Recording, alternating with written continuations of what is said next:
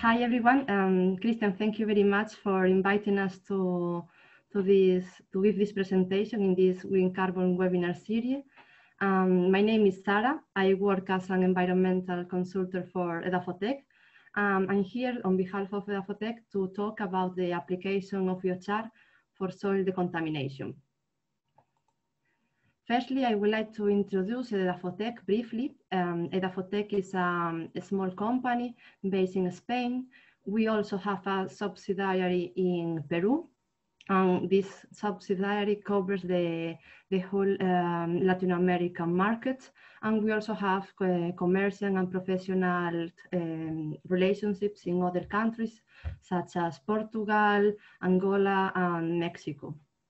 Uh, Edafotec's objectives their, their purpose, our purpose is to um, decontaminate soils and, and water and also restore landscape. And we do it uh, by means of uh, technologies which are based on nature. And for example, biochar, as we are talking about it today, artificial soils and bioremediation. Firstly, I would like to also to, to give um, an overview of the problematics around contaminated soils. And for this purpose, I have bring some, some data from the European Environment Agency. According to this agency, 2.5 million sites in Europe are potential contaminated. And from this, 40%, for, sorry, 14% are estimated to be contaminated.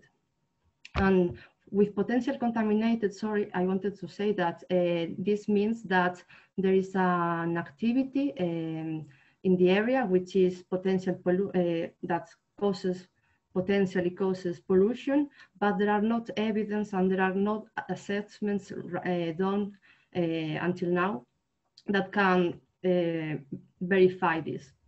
Uh, from these 340,000 estimated contaminated sites, the one, uh, one third of them are, have been already identified and only um, the 15% of them has been remediated.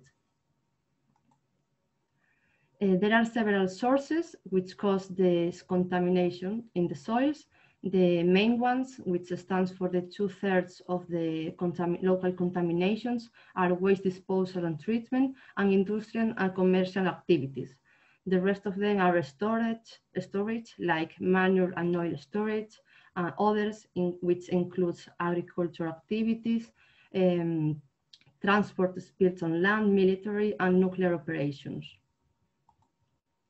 There are also different uh, pollutants which causes the contaminations and it's very common that in a, in a context, in, an, in a contaminated soil, we find not just one, if not a combination of more than one uh, combined uh, contamination and this makes uh, remediation works uh, more complex. This chart uh, breaks down the most frequently applied remediation techniques for, for soils contamination. And uh, to sum up, um, traditional techniques are most frequently used than new ones, than alternative ones. Um, there is also a tendency to use ex situ uh, measures in, oppos opposition to, to in situ ones and in particular excavation and disposal, uh, the, rent, the uh, pink one, uh, is one of the most commonly one applied, and it stands for the 30% of remediation sites.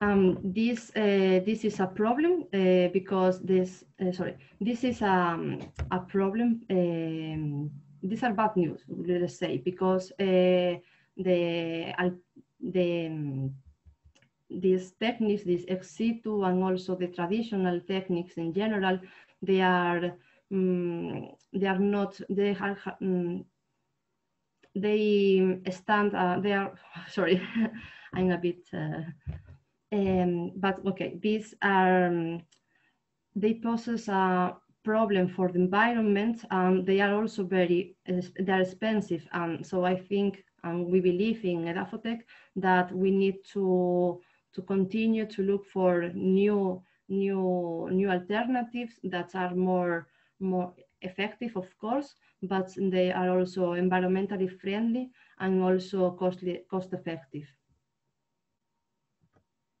And for this, we, we, we think in biochar as a solution. Uh, we know, as you, you, you may know, of course, that biochar is a material with a lot of um, lot of properties very interesting for, for the soil remediation, such as high surface area uh, with, uh, and with charge on it, and also it's rich, the, the surface is rich in functional groups.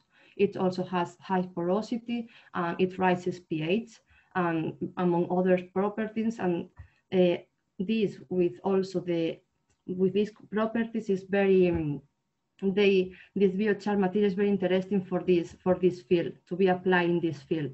And it also, it also has another advantages such as soil remediation, so improving its um, their its um, physical chemical properties and also mitigate clim climate change. But we, we, will talk a bit about it uh, later.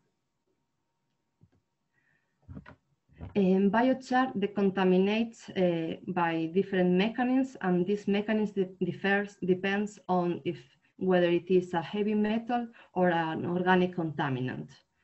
Heavy metals absorption occurs mainly by electro electrostatic attraction, ion exchange, and precipitation. Um, organic contaminants are mostly um, absorbed by biochar um, via um, van der Waals fields, uh, forces, sorry, hydrophobic interactions, and hydrogen bonds.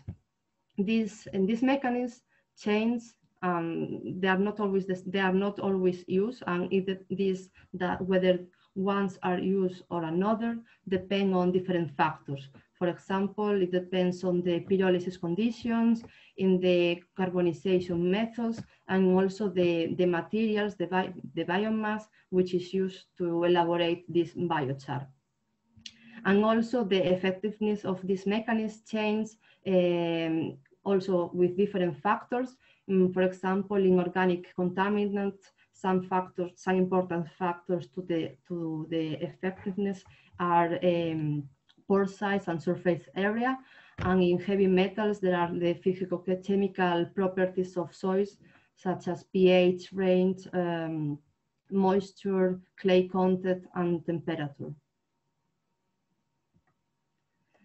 biochar also absorbs the, well, also the contaminate soils uh, indirectly by different mechanisms.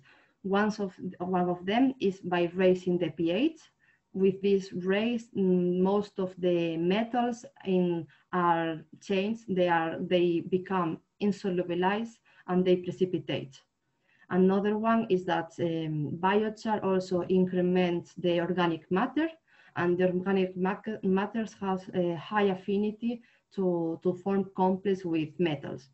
And also, uh, biochars acts as a, as, a, as a support for the bacteria, and these bacteria may, uh, may have the capability of metabolize organic compounds.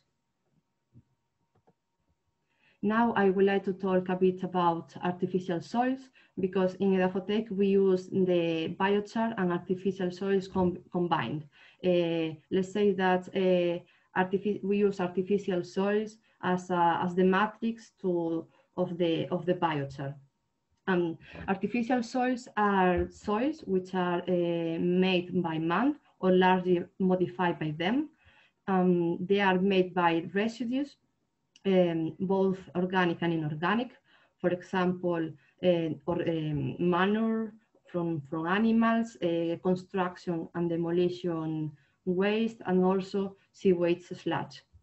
Um, it's very interesting that artificial soils can be tailor-made for specific purposes, like uh, here we have for the purpose of environmental, environmental purposes, um, uh, in Edafotec, we designed it with uh, to have the same uh, biochemical characteristics than, than, than natural soils, so they behave and evolve as natural soils.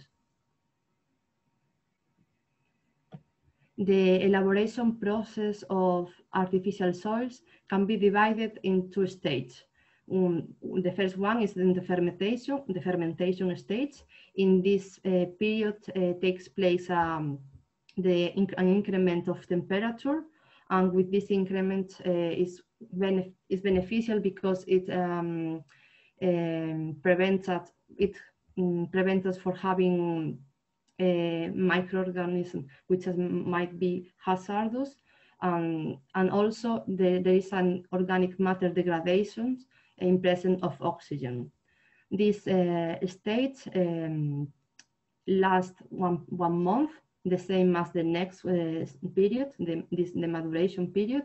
And in, during, this madura during the maturation, there is an stabilization of the organic matter.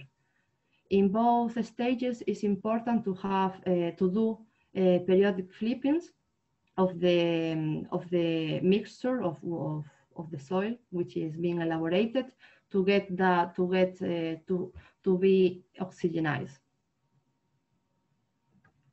Here you can see a pile of this mixture of residues uh, which are being uh, um, well flipping with these machines to get the the, the artificial soils done. Um, artificial soils uh, has a lot of benefits for soils. Um, for for uh, for the first one, the first one is that they they are able to to to modify underside redox conditions and generate the most suitable ones. For example, in in the mines, uh, it's normal. It's very usual. Usually, usually there there are acid uh, conditions. The, the there is the um, acid water is generated and this because of the P, low pH and this can be modified the, the pH thanks to artificial soils pH can be raised and stabilized. It also immobilizes contaminants as, as biochar, as a biochar does, uh, both organic and inorganic. It also uh, acts as a carbon sink and not only um, artificial, artificial soils not only remediate the contaminated soils, if not, they improve also their physical chemical properties. For example, they, they can provide a desired structure. They, all, they can also um, retain water and provide uh, nutrients in a form that they are available for the plants. Um, and also artificial soils as natural soils, they, they are an interface between the, the atmosphere, the geosphere, the, um, the biosphere and the hydrosphere. Um, and, in, and in this sense, uh, everything passes through soils. And because of that, they act as a filter and they act, act as a water filter. So uh, biochar and artificial soils in combination, they enhance each other their effects. And they are both cost effective, they are environmentally friendly, they can be tailor-made to, to, to be applied in specific conditions, uh, not just of pollutants condition, different combination of pollutants, but also the type of slopes, weather, etc.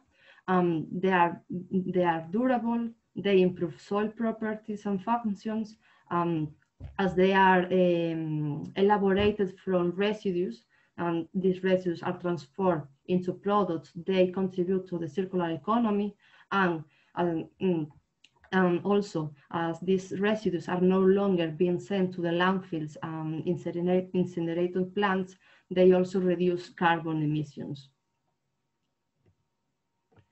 in the end, uh, the application of these uh, two technologies um, contribute, highly contribute to the sustainable development goals because most of these goals are, have, have need to, to have healthy soils. For example, for, for as, as I was saying, for having quality water, also to have um, safe food um, and ensure healthy lives and promote well-being, they, they, they need to have uh, healthy soils. And also because they are, um, they are, trans they are, they use their residues and they transform residues into products, uh, they also contribute to the to the waste management uh, by, for example, recycling the urban waste and also contribute to the goal of limiting the garbage which ends up in, in, in, land, in, land, in landfills. And here uh, I would like to show you some case studies uh, in which we have worked with in Edafotec. The first one is a tailing from an extraction tunnel uh, in Spain. Um, it's covered, it's all covered with artificial soils, in soils, except in the top, in that shadow place um, is, there is no, no remediation technique applied there. Um, the difference between, mm, if, well, if you can see the, the red area uh, is not completely covered by grass, and this is because the seeds were were planted in in a different season, a rainy season, and most of the seeds ran away. Um, this is um, something to learn from it, um, to also uh, plan when when is the right uh, moment to to to plant. And here you can also see um, uranium mine, also in Spain, and also you can see the contrast the contrast between the the the cover place, uh, the green the green area, which is covered by by artificial soils, and the naked place which was not not remediated.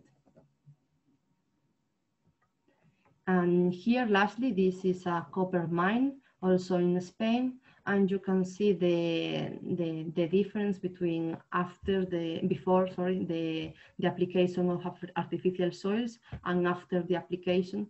And you can see that it looks more like a, like a natural, like a natural landscape. And also it was, um, it was restored. It has, it, and previously it has a high, low pH range uh, values, and and now um, it, it, it stabilized and it has an optimum, it, it, the pH is in, a, in an optimum range. Well, here is my presentation um, so far. And now if there is any, any question, I will be glad to, to answer to you. Thank you very much.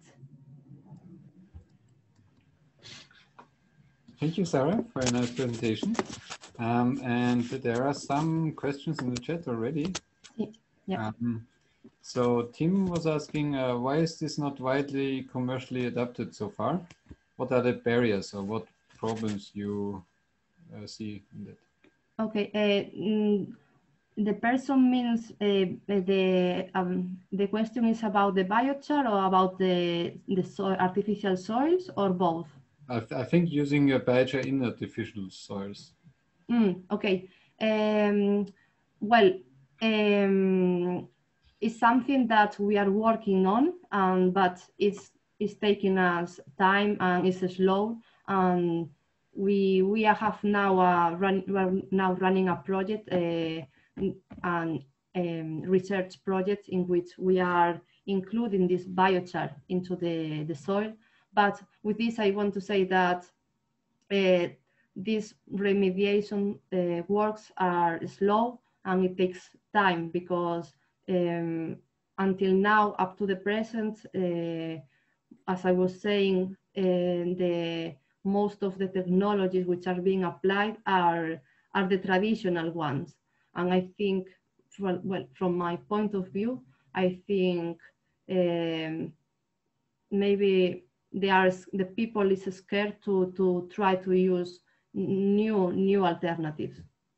I think Thank you. Um, so the next question was from uh, Don. What concentration of biochar is recommended for blending into contaminated soil? Do you have a certain percentage of biochar you, or maximum percentage or minimum one you use for the soil remediation?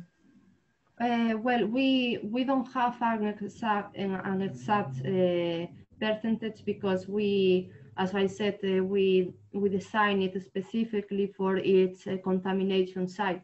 So um, depending on the requirements of each site, we, we change that percentage. And we also, uh, as we use it in combination with uh, artificial soils, um, maybe we use less percentage than if it were if it were uh, used alone, because also artificial soils soils also have um, uh, also uh, that contaminates as well. They have their own functions.